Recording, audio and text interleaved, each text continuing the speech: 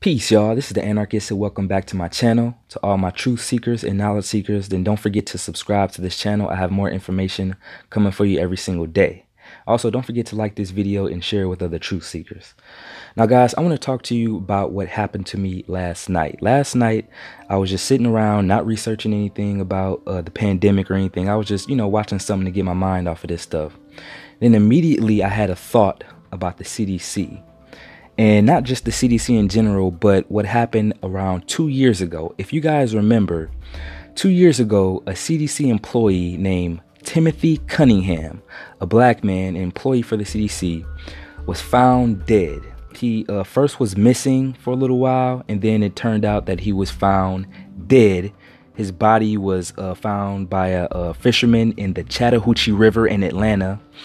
And they eventually ruled it as a suicide and maybe an accidental suicide, which was weird because they also reported that he left the house with his jogging shoes. He was a jogger and left his keys at the house, also left his dog at the house. Also, it was reported that he was a little erratic because uh, apparently he had got turned down for a job promotion at the CDC, so he was a little distraught employee said he went home distraught.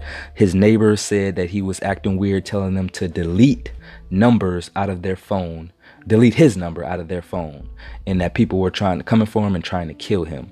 Also, so I did some research into this Dr. Guys, and I found out that he was a whistleblower. He actually went to some online news source and began to tell this source about, you know, his findings at the CDC. So I want to read you guys something I have linked below. I want you to check out the link, but it actually connects a lot of this stuff that uh, we've been talking about in videos. So here it is. This is from uh, torsays.com. Like I said, I'll link this below. I want you all to look at this. Who is Timothy Cunningham? He worked for the CDC, but he was a special CDC officer. He was an Epidemic Intelligence Service Officer. What's that? Epidemic Intelligence Service Officers deal with disease and biowarfare. I just did a video on biowarfare. Go check that out. He was on the team for H1N1, Ebola, and the Zika virus. According to exclusive sources, he was startled with findings over the years in respects to how flu vaccines amplify the side effects of viral infections rather than inoculate patients effectively. In December 2017, Cunningham was assigned to what was, at the time, a new project, unofficially known as quote unquote Shogun. According to our exclusive sources, testing and manipulation of the SARS strand was being used against a new drug that could eliminate a virus to infect your cells. It's important to understand how viruses function to understand what Timothy Cunningham whistleblower reports had. So I'm going to scroll down because they talk about how viruses affected people. It says, What did Timothy Cunningham find out? It turns out that the Chinese did what they always do.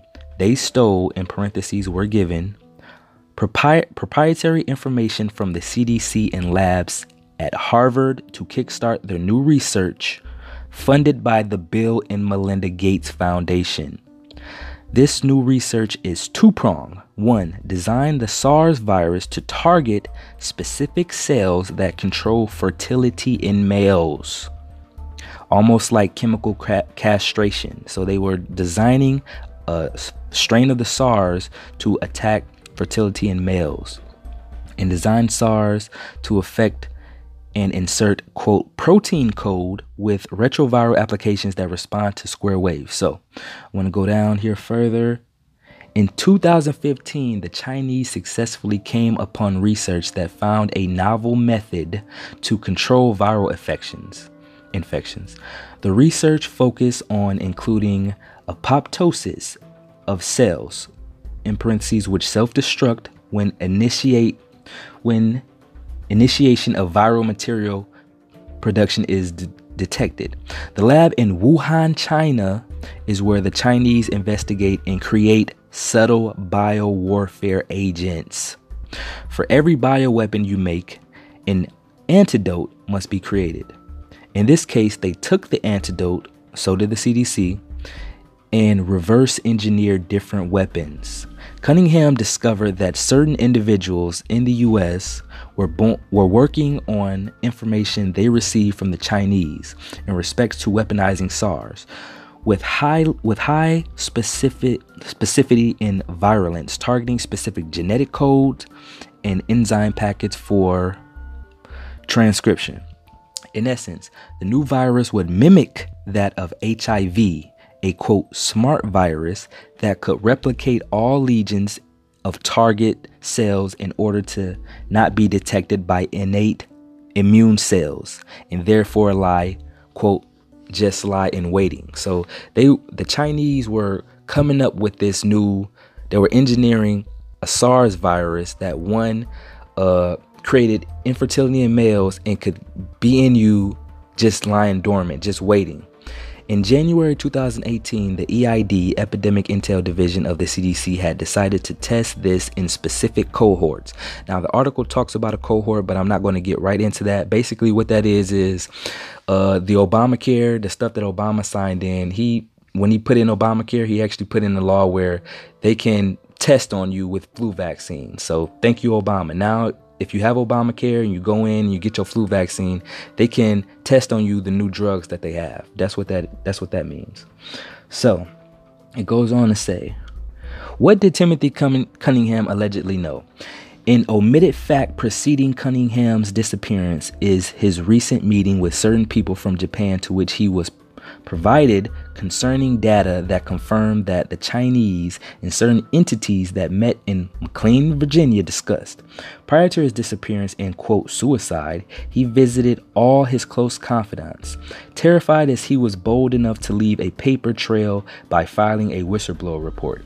He filed it on Monday, and within, within 48 hours, he knew that his identity was not protected. He attempted to reach the President of the United States. General Kelly was not very happy about that, from what our sources say, and his panic seemed erratic. Tim didn't sound right. He was telling people to delete his number from their phones and was on the run because people were going to kill him.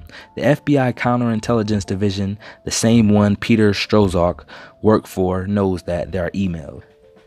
They talked about Trump. Did Trump know about this? Donald Trump know that while all of us are being vaccinated, that this company, guys, write this name down: S H I O N O G I and C O. I think in Shionogi and, Com- and Company and Co. A Japanese company from Japan has invented a drug that can eradicate any virus that invades the human body. Go and this is a real company. I looked this company up. They are a real company and they do uh, claim to have this drug that can eradicate any virus, even HIV, even uh, AIDS. Imagine, blah, blah, blah, goes on to say that.